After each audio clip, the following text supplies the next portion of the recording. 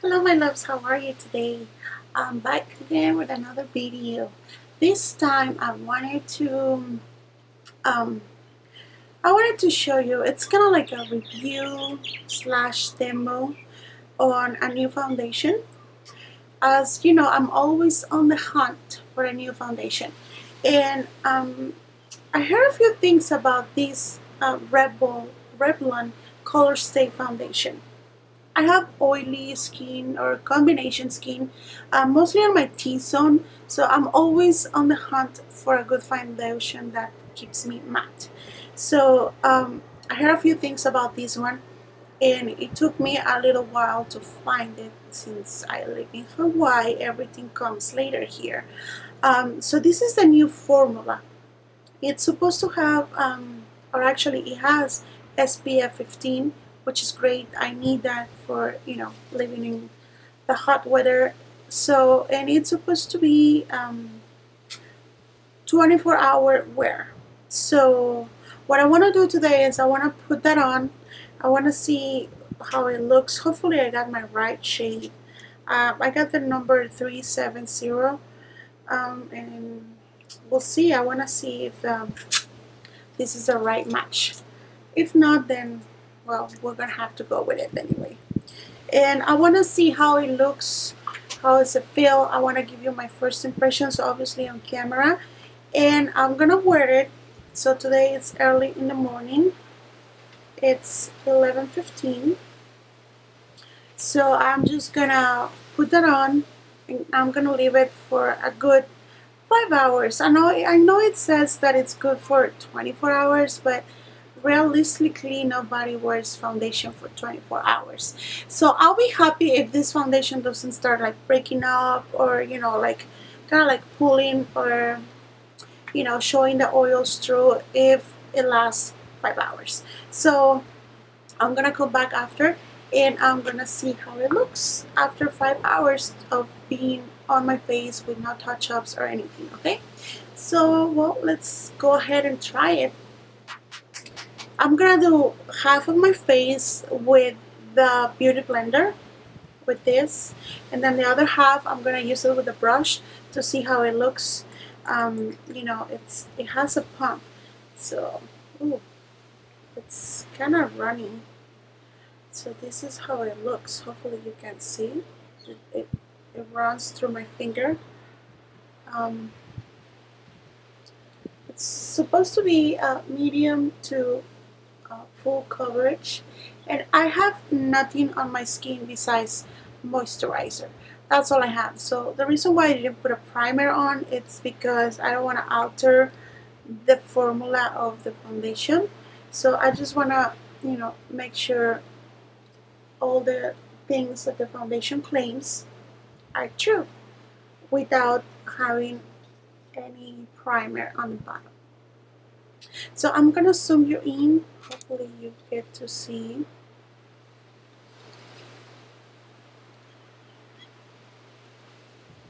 Okay. So this is gonna be the side with the beauty blender.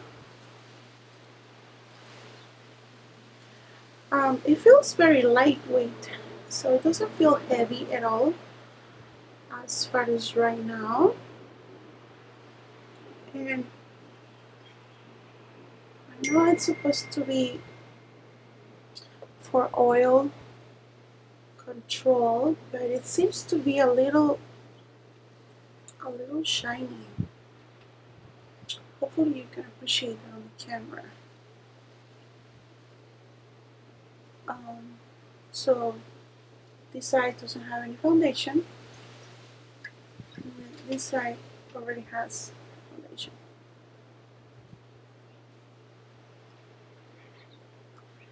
definitely looks more sheer with the um, beauty blender.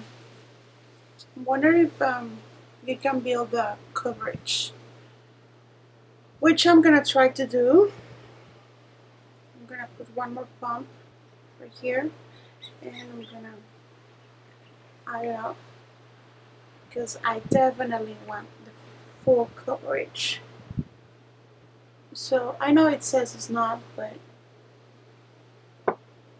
know, maybe it's buildable. Excuse my phone, I'm sorry.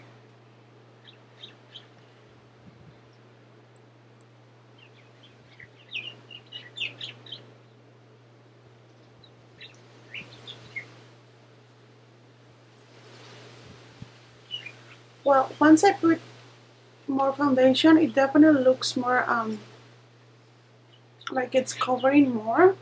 And the shade, it looks right though. It looks like a, a good match. Mm -hmm. So here is half of the foundation on my face with the Beauty Blender, which is inside right here. And here's the other side with no foundation. Mm -hmm. I hope you can appreciate that right there. Sorry, I'm looking at my viewfinder over here just to make sure I'm in focus. Hmm.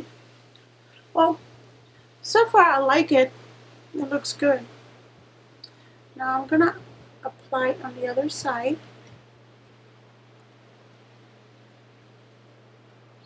And you can see right here my blemish. so we're gonna try to cover that and see how it goes. I'm gonna put more because I, like I said, I want it. I want more um, coverage.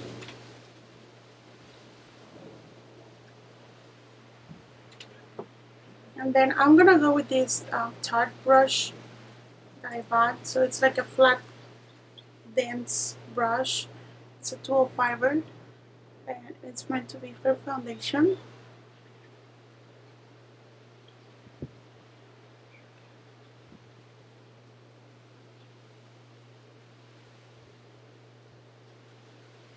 Feels good on the skin, it's very lightweight. Feels hydrating though.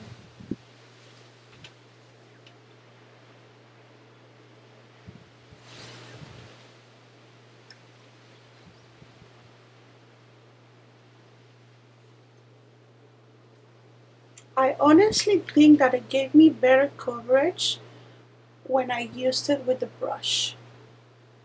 So if you are looking for more coverage, definitely on the brush is the way to go.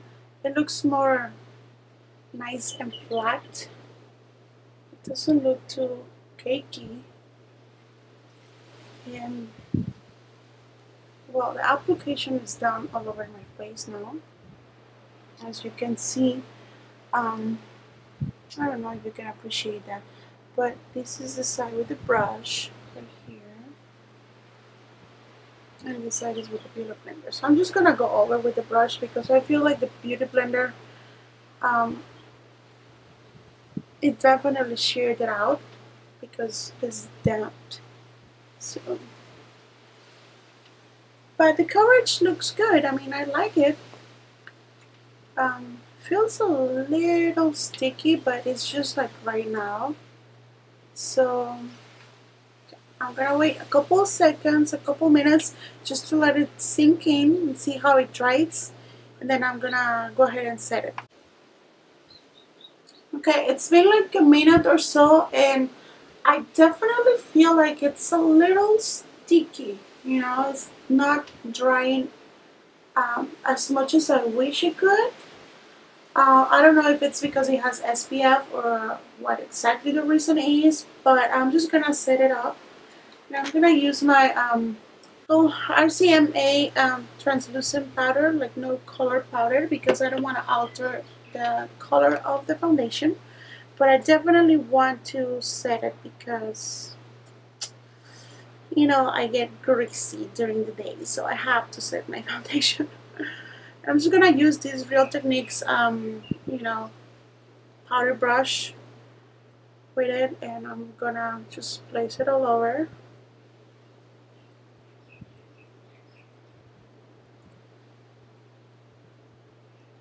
And once I place the powder, it feels good though. It doesn't feel heavy, but um, it's, I mean, it's too soon to say something, so as far as the application goes, it goes well.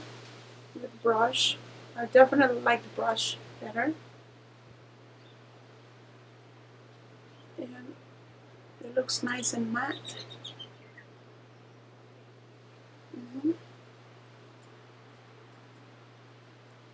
Well, this is how it looks. Definitely is a little bit of a darker, darker shade, maybe. But, um, I don't know. We'll see. I just wanted to set my T-suit because maybe that's where I get super oily. Alright then, um, I'm gonna finish the rest of my face and I will see you in a little bit, okay? Okay, my loves, I finished my makeup off camera. Um, this is how it looks. And you know what? The foundation is looking really good. Um, it's been what, like 45 minutes? It's 12. Um, and I really, really like the way it's looking. I mean, it looks very, very nice and natural. Um, it has good coverage. So um, we'll see. I'm to update you later on today um, and see how it looks. But I just wanted to mention quickly these two um, NYX uh, lingerie, uh, lingerie um, liquid lipsticks. I never tried them before. I've been on the search for them in a long time. And always that I go look for them either at Target or um, Walgreens, they are always out.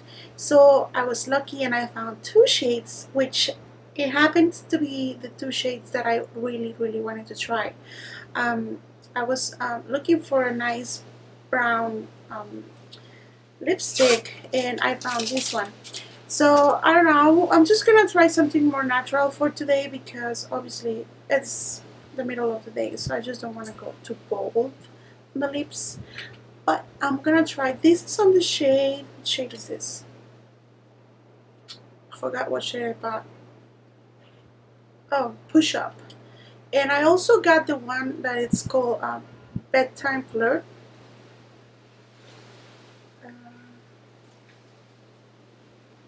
This is definitely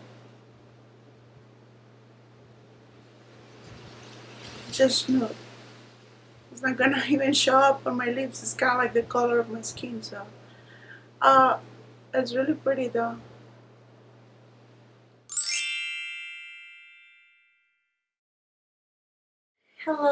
Loves again. I'm back. So it's been five hours already. Um, I know. So the time right now is 4.51. And I have pretty good news. I mean, foundation has lasted very well. I'm to zoom you guys in. Okay, as you can tell, I am sweating right here. it's So, so it, it does um, holds up pretty well. So I am overall very happy with this foundation.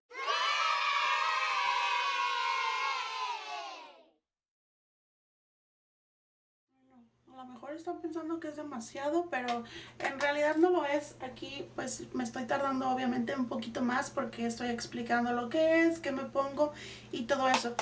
Pero en realidad es un maquillaje que dura bastante... Um,